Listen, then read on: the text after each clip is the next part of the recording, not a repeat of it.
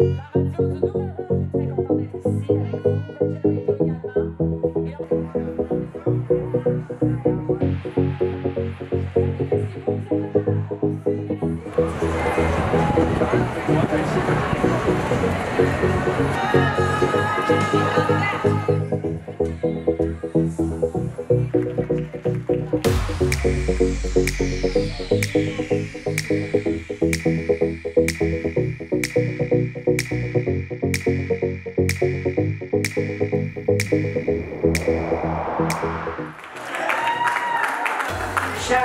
a diamond. Shine bright like a diamond. Shine bright like a diamond. You and I,